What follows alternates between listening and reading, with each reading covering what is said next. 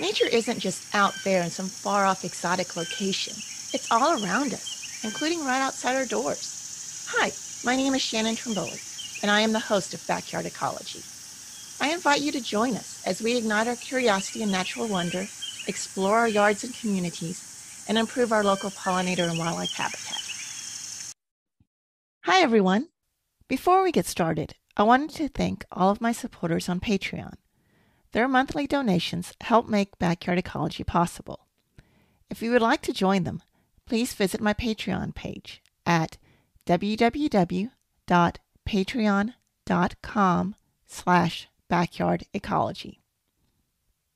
Also, if you would like more backyard ecology, please check out my blog. The blog profiles common native plants, spotlights pollinators and wildlife that you are likely to see around your home, and offers tips for attracting pollinators and wildlife to your yard. To make sure that you don't miss out on any of the blogs, podcasts, or other backyard ecology news, I send a free backyard ecology email once a week to anyone who has subscribed to our email list. I'll have links in the show notes for the Backyard Ecology Patreon page, blog, and email list. One last thing before I introduce today's guest. If you are listening to this episode before June 12, 2022, then don't forget that I am doing a survey asking for your feedback about the Backyard Ecology podcast. You can find all of the details, including a link to the survey, in episode 50. If you take the survey, you'll have the opportunity to enter a drawing for one of five copies of my newest book. But the survey closes on June 12th, so don't wait too long if you want to participate. Today we're talking with Dr. Kim Cleary Sadler. Kim is a professor of biology education at Middle Tennessee State University and co-director of the Center for Cedar Glade Studies. Glades are ecosystems where the soils are really shallow and rocky often with patches of rock showing on the surface. They can be found all over the world, including multiple states within the eastern U.S. Glades are unique areas that support some really interesting and sometimes highly specialized or even rare organisms. Now, admittedly, they can also be frustrating for homeowners who may have one in their yard and be trying to force it to conform to the standards of a normal yard because they think something is wrong with that area. However, sometimes all it takes is discovering that there isn't anything wrong with that area at all, but instead it is something special and can be celebrated for its own uniqueness. There are many different types of glades based on the type of rock found in the glade. Much of Kim and my conversation focuses on limestone glades, or what in some areas are more commonly known as cedar glades. As you might suspect, the primary rock in these glades is limestone. However, we also touch on a few other types of glades, and the basic concepts that we talk about can be applied to pretty much any type of glade. I hope you enjoy our conversation. Hi, Kim. Welcome to Backyard Ecology. Thank you for talking with us today. Hi, Shannon. I'm just honored that you contacted me, and I'm excited to uh, talk a little bit more about uh, Middle Tennessee cedar glades. Yes, I am very excited about this too and looking forward to this conversation because glades are such unique and interesting ecosystems. And I think there's a lot of people that don't know that they exist. And that's even if they've got glades nearby or maybe in their yards or next to their driveway, because I've met people like that before. Yes, that's true. And, you know, I've qualified Middle Tennessee cedar glades because those are the glades I'm most familiar. But glades occur primarily, um, well, really, they're, they're, they're glady type areas all over the world. And let's just back up. What is a glade anyway? Yes. Well, a glade would be a, a clearing or a, a grassy area, is really what a glade is. And in reference to the cedar glades that I think more about is uh, are uh, limestone cedar glades.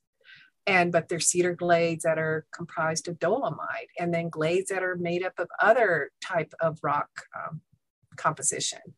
And so, if you think about uh, the way that this was described to me before I had ever seen a glade, is think about a glade like a room, where the floor of the room, that's the glade, and then the walls of the room would be, in our case, would be the cedar trees, which are not true cedars. There are no true cedars in this part of the country, they're actually junipers.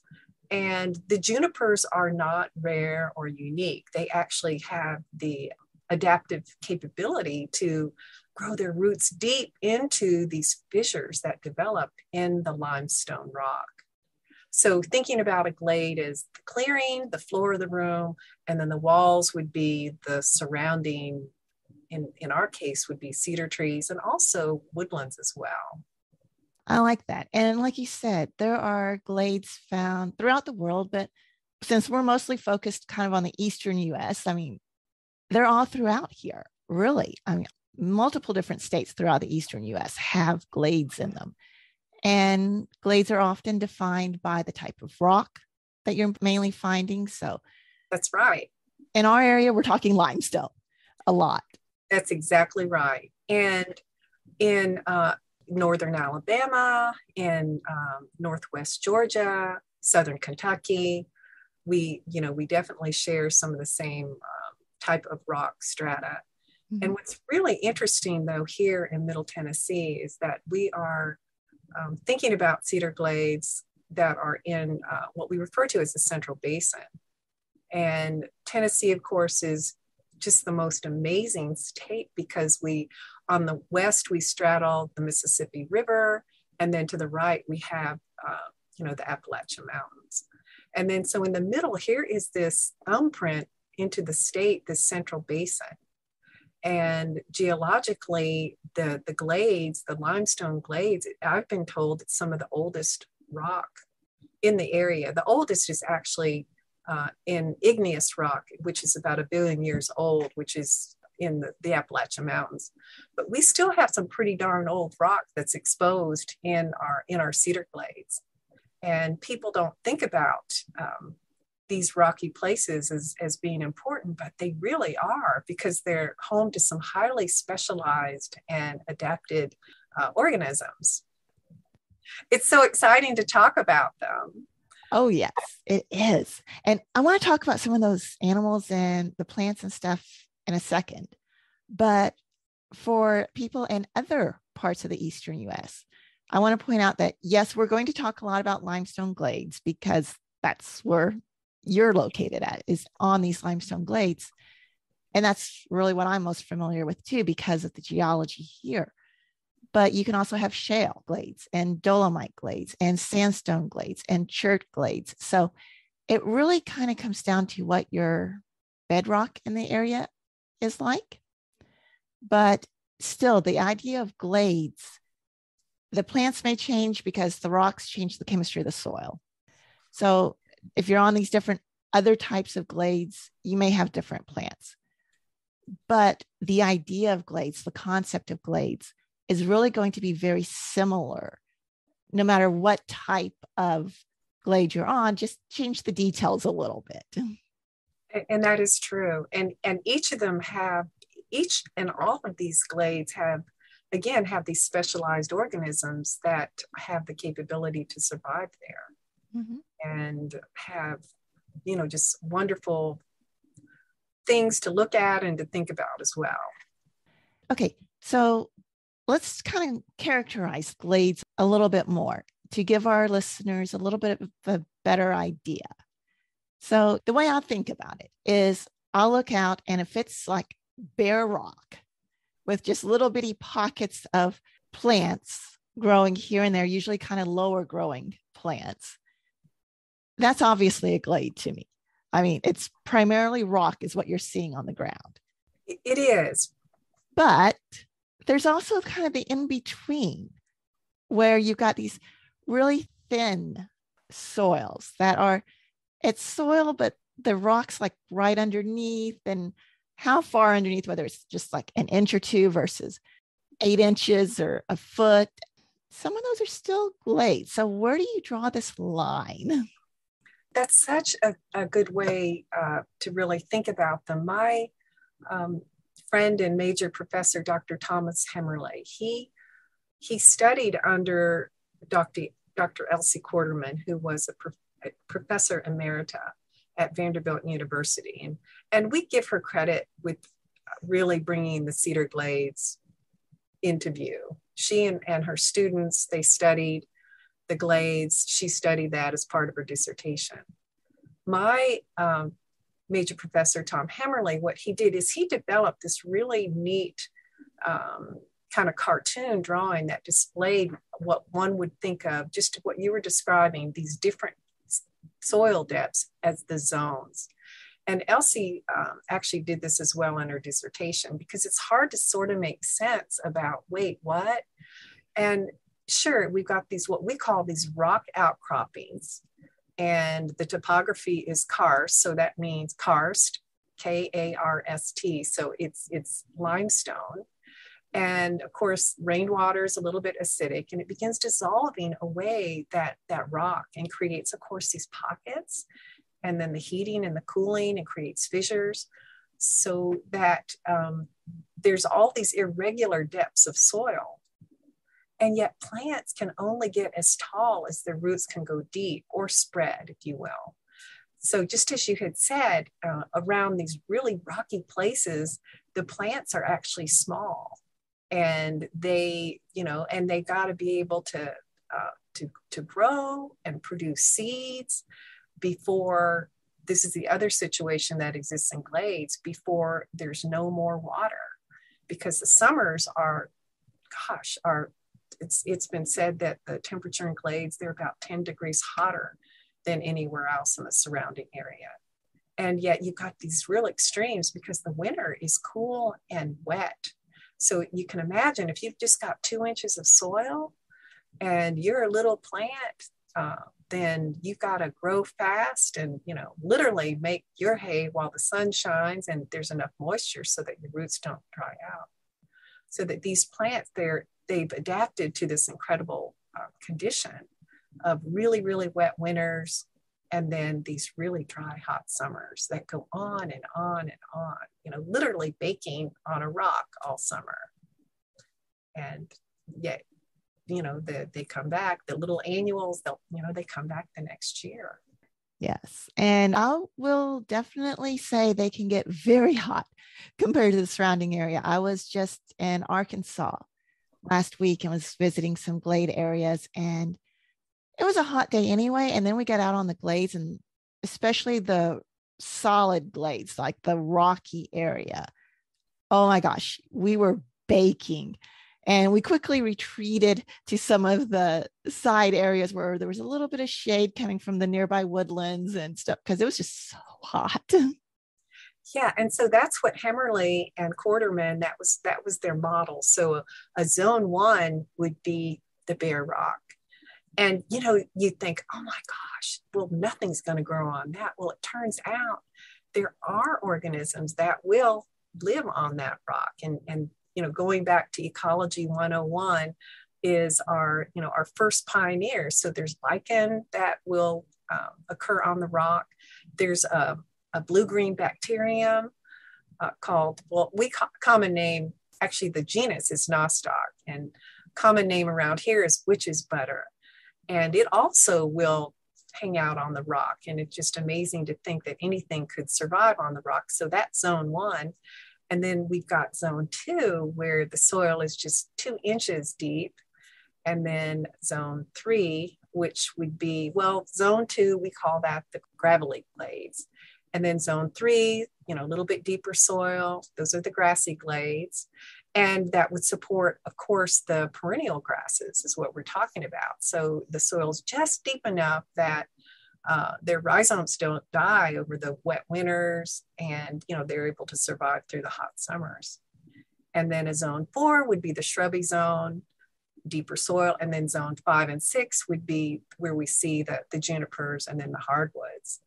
And it um, there's been some work to support this idea you know, we're talking in a linear fashion, um, but that there's only specific species that occur, say, in a zone three. Well, that hasn't been supported research wise. But, you know, if you're teaching people about this, it's easy to get your head into this idea of the zones. And obviously, a zone two plant, like a little Nashville mustard, they only get to be two inches tall. It's really hard for them to compete for sunlight if they're over there in a zone four. Do they occur in deeper soil? Of course. But guess what? the plants that occur in the zone four, they cannot live in a zone two. They can't live in two inches. So I guess it goes one way, but not the other. So it's interesting to think about that. It makes it fun too to go and explore and find these highly adapted um, plants. Oh, yes, definitely. And yeah, like you were saying, there are some really specialized ones. And oh my gosh, the lichen community on that bare rock zone is just, oh my gosh, it is amazing. All the different kinds you can see there. Oh, they're they're beautiful. And then there's um, like a lichen, uh, the crypto, I think it's pronounced cryptogametic uh, crust that you know to me it looked like droppings that there were you know animal droppings or just a big pile of animal droppings that are just kind of all fused together. That's alive. That is a living organism too. And oh my goodness it's just it's fascinating. And there was one that i kept seeing where we were at that it was orange and it looked like the rock had rusted yes on the corners and, and it's like okay no that it, that's not an iron based rock. It did not rust, but it looked like it rusted because of the way the orange lichen was. Yes. Yeah. It is. It's so extraordinary. And, you know, people, oh gosh, it's just a rock out there. Who cares about a rock? But I challenge you to get down on your hands and knees and just look closely at what's going on particularly in our rocks here in Middle Tennessee and these the, the Lebanon limestone rocks, they're full of fossils. And the bodies of these once living marine organisms actually are what make up that's the composition of the limestone rock. And just wonderful different types of fossils you can find. And of course kids want to know are there any dinosaurs? No the seas unfortunately they were shallow. But um, and how do we know that? Well we know that by the kinds of fossils that we find. So we don't find any big marine organisms in there but you know we do find a lot of shelled uh, species of organisms and um, oh sponges and you know things like that that would have benefited from being in a shallow sea. Probably warm as well yeah let's talk about some of those animals and the plants that we might find that are really cool and unique to these glade areas? Well, the, the animals regretfully have not been studied as well. And, and, you know, you talk about an environment that is really, really hot in the summertime. And if there's not any cover to get under, you literally, you know, you're roasting in an oven. And the animal population, it seems to be more transitory, just passing through. Although there is a salamander, the streamside salamander has been um, found to specifically like these temporary little uh, rivers, if you will, or, or little, little tiny temporary streams that occur in cedar glades. It prefers those and uh, has been found to be of um, you know, ecological significance because of that. And uh, the little tiny prairie warbler, you'll, you know, you'll see that, hear the song and see the prairie warbler and fence lizards. And of course, you know, you think about hot and dry, probably you're thinking like me, you know, the reptiles have been studied as well. And, um, you know, all different kinds of snakes have, have been found. I was hiking with a, a colleague, um, John Froschauer, who's now retired with um, the Department of Environment and Conservation. And we had a big group of people with us from all over the country. It was a science teachers meeting, and this was one of the field trips. And somebody looked down, and there was a bright red little tiny snake that nobody stepped on. And it was a little scarlet snake that was just beautiful and calm and docile and you know we ooh ah over that little snake that you know there you go you're out here in this rocky dry environment and you know here's this beautiful animal just calm and mm-hmm. you know pick upable you know we all said hello and put the snake back down and we went on our way so um, the the animals I'm not really as familiar with. I, you know, I've seen spiders and oh my goodness, scorpions. We don't have scorpions like they do out west, but you know, at the size of your pinky fingernail, just adorable. And then in these temporary ponds, and sometimes there'll be farm ponds as well that will be adjacent to glades. You know, there's toads and um, and turd box turtles and you know animals like that that you'll find. And then the just passing through, you know, the the herbivores, you'll see that that they've been there as well. Yeah. And of course, when you get into the areas that can support the wildflowers and stuff like that, then you get the pollinators or the grasshoppers and all those different really cool fun insects that come through yes it's so true. And there was a study done i guess by uh, uh, Jerry and Carol Baskin, who were students of Elsie Quarterman, and they had documented that the majority of the, the these cool plants that we can just will identify them as endemic, which means that they occur in the particular glades that we're thinking more about. Um, these endemic flower species, they're insect pollinated. And you're right. I mean, we always overlook insects, and I just nearly did that. So thanks for bringing that to bear how important our animal friends, the insects, are as well. And yet there's so much that we don't know.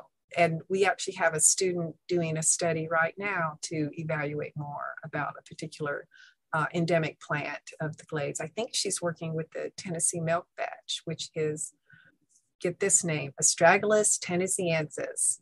And so it is, you know, they're trying to do a little bit more research as far as that particular plant species.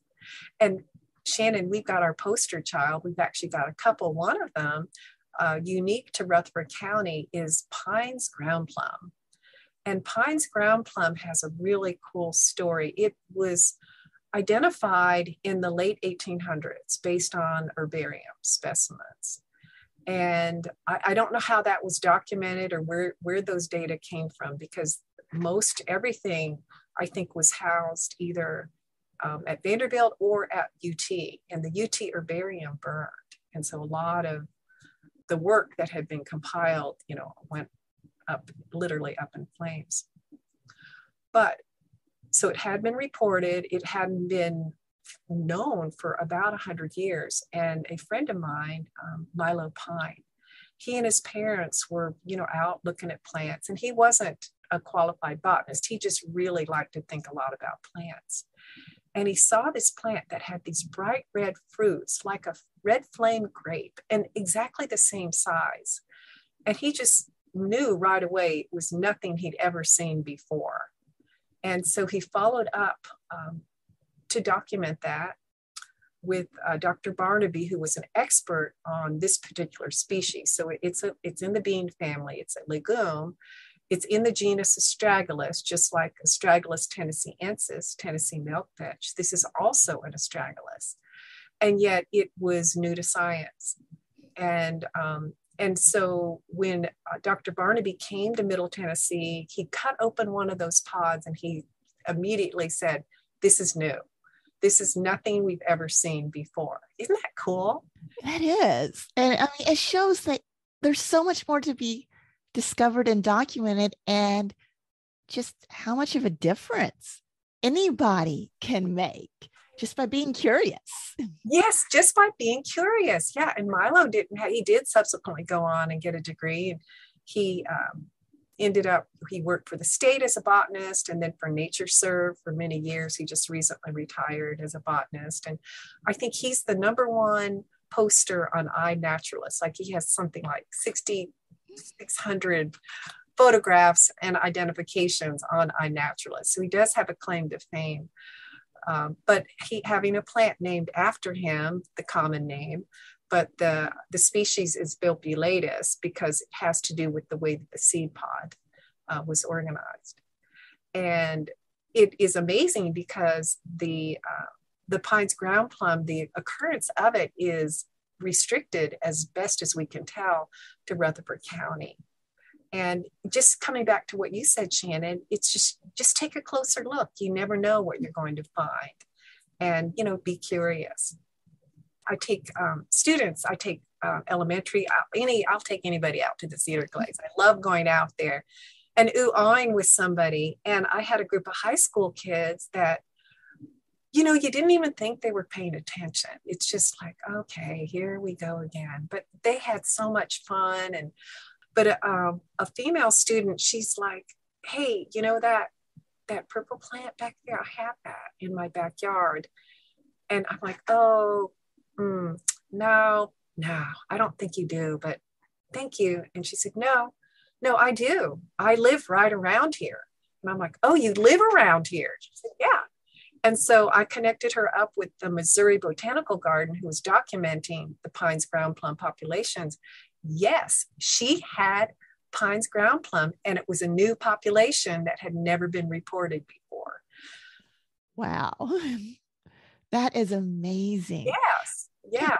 Yeah. So she actually was an artist and knew very well. She looked closely and could tell those are the plants that I have in my backyard. And it, you know, was um, so cool because it, the plant is federally listed as endangered. Yeah which is why I think it's so important to have conversations like this because so often there's the opportunity to have something really cool in your yard. I mean, even if you're in town or near town in suburbia, you can still have these patches. I mean, a lot of the area that you're talking about is Metro Nashville area. I mean, it's not far from really big town city. And yes, I've had people from greater Nashville area come to me and say, Hey, what's this plant? Or start describing something to me. And I'm like, You've got a glades area, you've got a glades plant there. And it's really cool because unless you know about glades, you're not going to recognize what you have because we don't know what we don't know. I mean, that's just the basics for anything. That is so true and that brings to mind another really this is this is a conservation success story i'm getting ready to share. And dr elsie quarterman and a student they you know botanists we're out we're always out cruising around looking for places to investigate. And notice this beautiful hot pink color.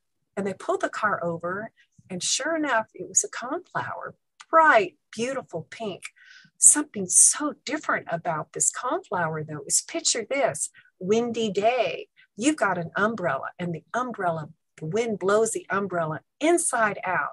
So instead of the umbrella float you know flanking downward it goes the other way. Well this is how the petals were growing on the coneflower completely opposite. When you think of a coneflower you think of an umbrella. You know uh-huh. the, the cone, the central portion, and then the, the petals droop down quite beautifully. No, this is exactly the opposite. The petals, they reflect upward. And again, curious, knew something, this was something very, very different. And subsequently, it was um, the Tennessee coneflower, which was the first federally listed plant in the state of Tennessee. And I believe that was in 1979 was when it was officially listed. And my um, coming back to Dr. Tom Hemmerly, his dissertation was to study the life history of this plant and where did it go? Apparently, it went under Percy Priest Lake for what they could figure. And um, so it was thought to be extinct. Here it is, it's back in the picture. And the consequence of um, Tom Hemmerly's work is once we knew how the plant grew, how it propagated itself, then propagation uh, work was able to be done. The plant was able, it doesn't transplant very well if you dig it up, but if you grow it in a setting where it's not around any other coneflowers because it likes to date, it has to be grown where it's isolated. Um, it would easily, uh, it could be planted and until the 40 years later, it was released out of being listed as, as endangered and now it's just listed, listed as um, threatened. And so, you know, it's like bad, bad, bad. The news is all bad, bad, bad. No, it's not always all bad.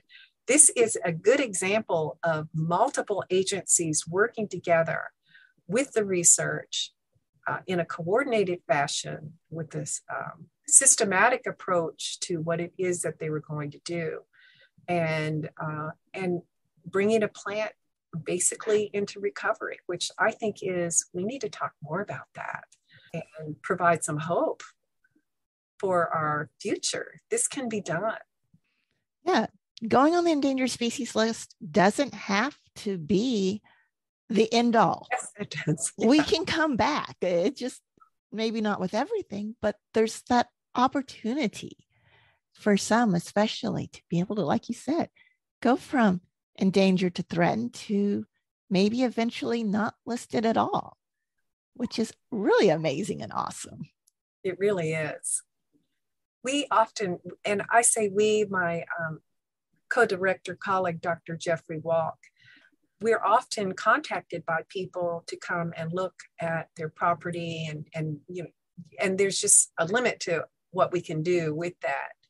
But it is you know it's it's exciting to us that people care enough to hey could you come check this out? I you know i've got this. I have these limestone rocks. You know obviously we can't farm on this. We can't plant anything on it.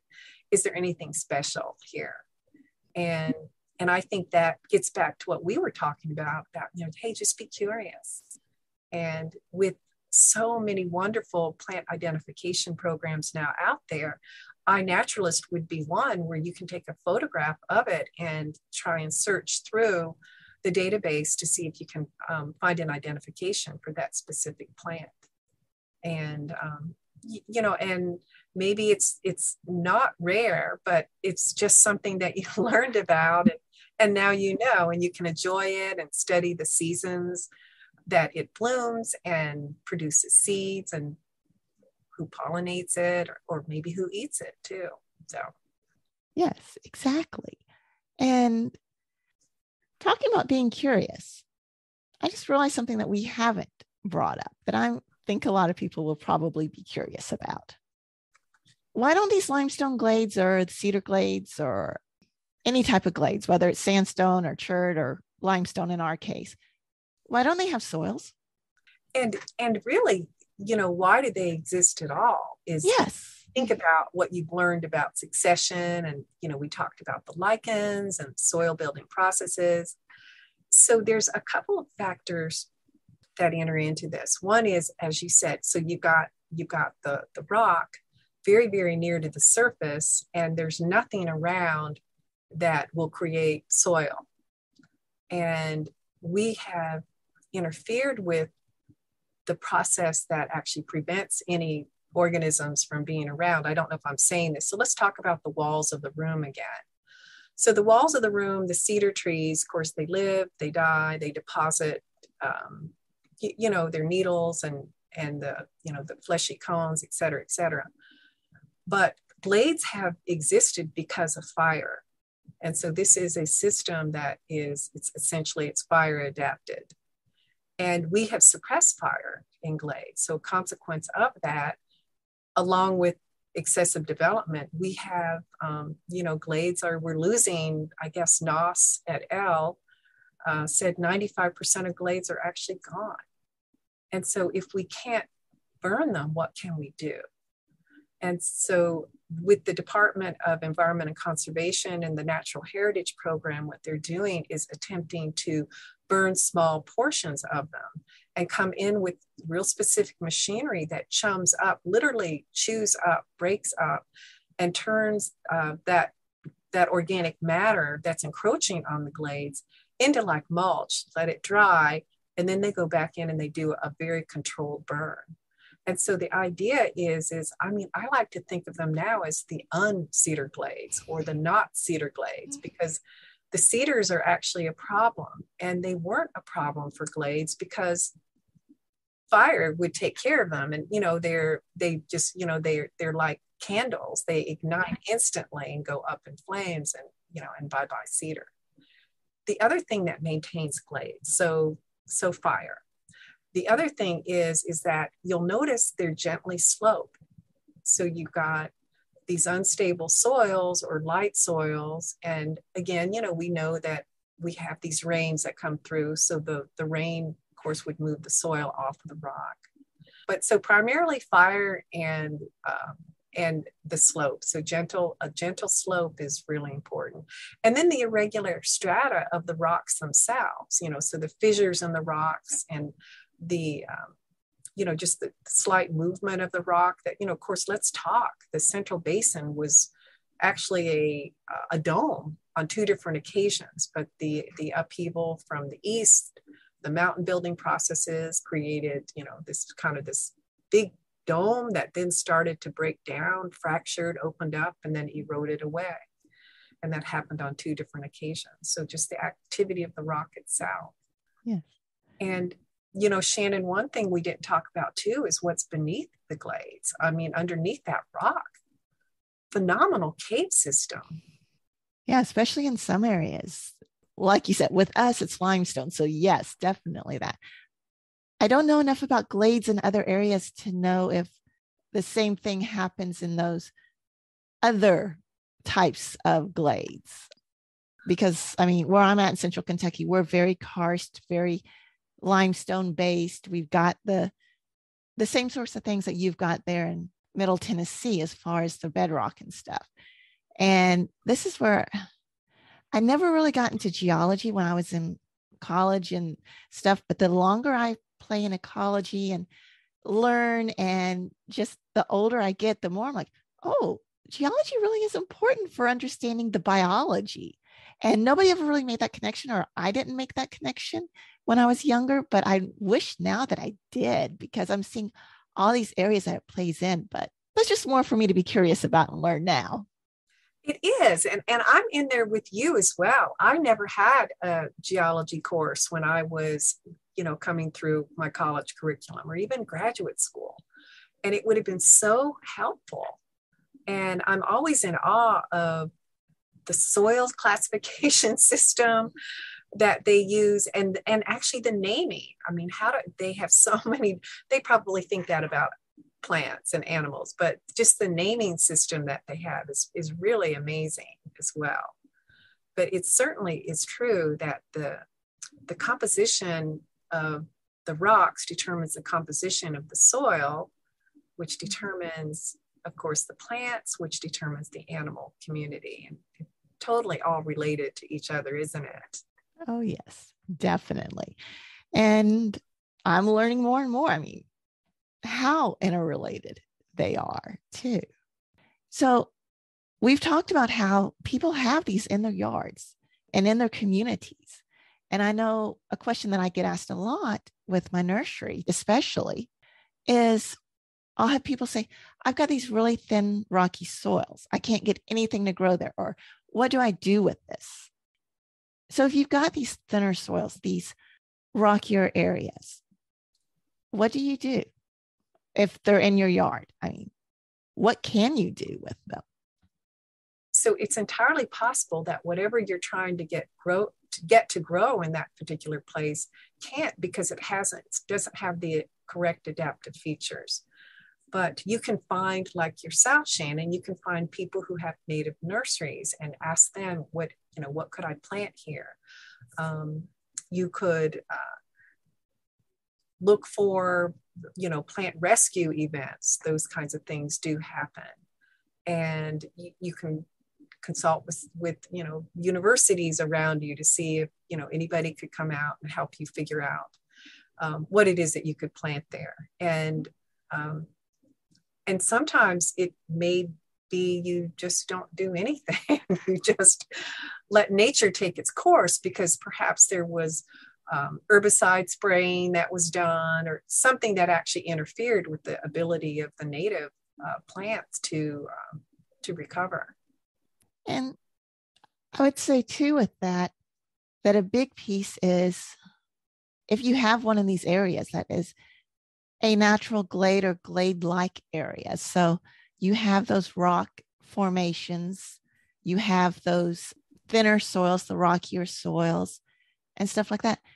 It doesn't necessarily mean that you need to bring in dirt and make the dirt thicker, better or what is in our mind usually better, having those deeper soils. It's a lot of picking plants that actually are adapted to that. not all of our plants need the deep soils, and not everything that we have needs to have that. Now, there are some areas that have been heavily impacted where everything's been scraped away. So it wouldn't be a glade, but now we've got these shallow soils because just development. And so, okay, that's not a glade, but maybe you can work with glade like plants because it's kind of an artificial situation. But especially if you've got a glade, don't try and force it to be something else. Work with your glade. Yes, don't try and unglade it. yes. That'd be one that's one thing that I try and talk to people a lot about is celebrate what you've got. Yeah, and and I've seen um you know some homeowners have you know huge huge patches of this rock in their yard and and they were able to purchase the property inexpensively because of that because you'll never be able to put a, a yard in there. And uh, and they were happy not to it was less grass to cut. And so if you're one of those hooray for you you get to uh, you know to celebrate glades. But i i agree with you shannon i would never you know going in and importing rock underneath that bedrock it's just ultimately it's going to erode away particularly if you have a sloping situation or you don't have some way to to prevent that from happening. And the the thing about not doing anything I, i'd like to come back to that. We have a lot of plants that have been introduced to this country intentionally and unintentionally. And there are plants that are unwanted we call invasive exotic plants.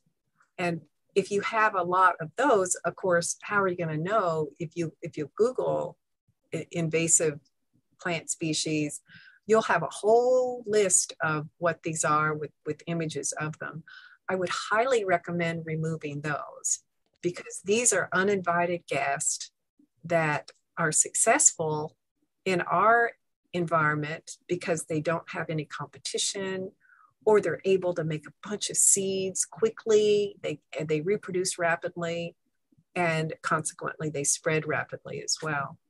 So when I say leave it alone, leave it alone so that it's a glade again, but remove any invasive species that are also hovering around the scene as well. Yes. And with that, your invasive species list is going to change state by state because we've all got different soils, we've all got different climates, and, and all that changes what can grow or how well it can grow in an area. So, yeah, Google your state and then invasive species. You can usually get a pretty good list there. The lists are usually updated every 10 ish years or so. Invasive plant, plant species. Yes. There are there are invasive animal species as well. And unfortunately, both of those lists and are growing longer longer yes. by the day. Oh yes, there's all kinds of different invasive animals and fungi and plants, but yeah, invasive plant species will get you the ones that you need to clear out of your yard or your property, whether you've got a glade or woods or prairie or anything like that. And don't assume that just because you can buy it in the stores means that it's not invasive. There are a lot of invasive species that are still sold today, which is another whole story that and conversation that we could have that we're not going to go into right now. That would be another podcast that you could do. Oh, yes, that would definitely be one. But yes, I mean, we've covered quite a bit here, and this has been really fun. And oh, one more thing, because this is something that I just I never really put it together, never really thought about it, um, but just discovered, like I said, a couple of weeks ago when I was at a glade in Arkansas, we were talking about how things are really wet during the winter and during the spring, and then they dry up really hard. Some of that, especially in those areas that stay a little bit wetter longer, you can have some really, really amazing cool plants there um, like sundews. I mean, I never really thought of sundews, the carnivorous plants, as being glade species, but there were sundews there. And that was just amazing because not only were there sundews, and that was the first time I've ever seen sundews in the wild and known what I was looking at, at least, it was in bloom. And to see the sundews in bloom was really amazing. So, yes, there can be all kinds of cool, fun things in these glades. That is amazing. That really is. And I'm thinking about uh, we've got a little tiny, it's, it's uh, called Sunnybell Lily. And in here in Middle Tennessee, around Nashville, there was a bypass that was built 840. And the bypass was routed around a population of sunnybells, which they like their feet really, really wet. But when they bloom, oh my goodness, they bloom in such profusion. It's like a just a yellow, beautiful, and I'm not talking about a field of ranunculus buttercups. It's just this beautiful cascade of yellow to behold. I mean, really in abundance. But that's right. And I think that uh, Dr. Dwayne Estes has been thinking a lot about the wetland aspect to glades and that the you know the standing water does qualify some regions of glades as wetlands, which brings about a whole other wonderful level of protection for them. And so it's just more than more than just rocks. There's a lot going on there. Yes. And you could easily, if you've got one of these in your yard or in your community, have, like we've been talking about, some amazingly beautiful plants and interesting plants and I mean, carnivorous plants are just cool. Uh, when you get into that aspect of it as well, I mean, there's I'm, I'm still a little kid when you come to carnivorous plants and ooh, part of it because those are just so awesome. You think of bogs, you know, you think of a bog or you know a nitrogen poor environment because that would be the evolutionary reason for a plant actually uh, feasting on the body of another organism would be right it would be the nitrogen because they can make all the sugar they want they're still green uh, and photosynthesizing but that is i think that is so fascinating. I'm not familiar with our glades having any uh, of these little sundews are you shannon? I'm not but it's something i want to look into more because i just I'm at the point with my knowledge of the glades that I know that I don't know enough to know that. So that's one of the things that I want to look into more and see if the glades around here have those sorts of connections with them as well. And plus, I want to learn some more about some of the glades in other areas too. So I may have to have other conversations with people who, like you, but are in other parts of the country that have other types of glades because people who listen to me regularly know that I am always curious and wanting to learn more. I think that'd be fun to do.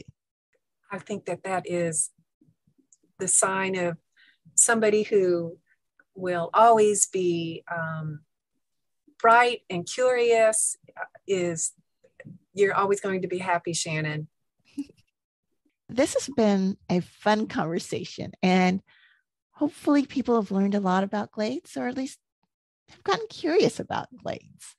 And that's really what I wanted to do with this episode was just introduce the idea of glades to people and the idea that thin rocky soil that everybody complains about when you've got it, it might be not just a challenge and a problem, but something cool and interesting that is worthy of getting curious about and learning some more about.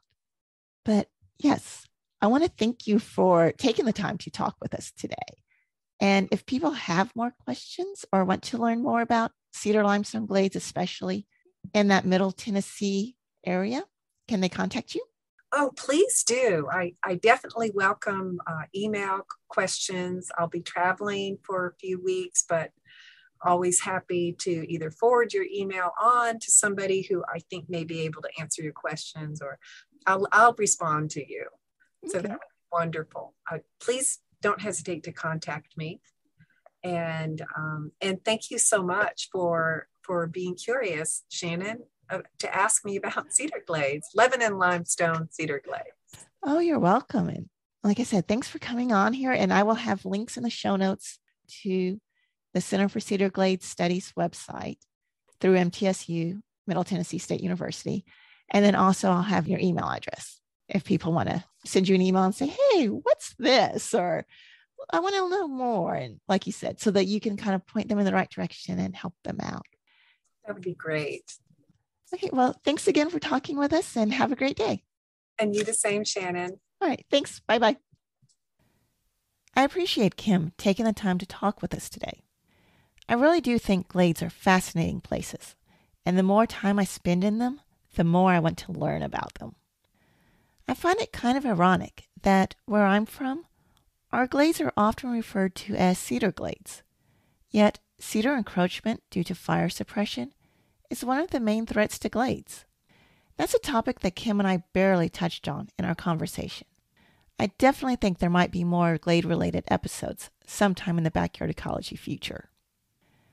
Before I wrap this up, I want to ask a favor of you. If you find value in the backyard ecology content, please consider making a donation. You can find out how at www.backyardecology.net slash support. Until next week, I encourage you to take some time to enjoy the nature in your own yard and community.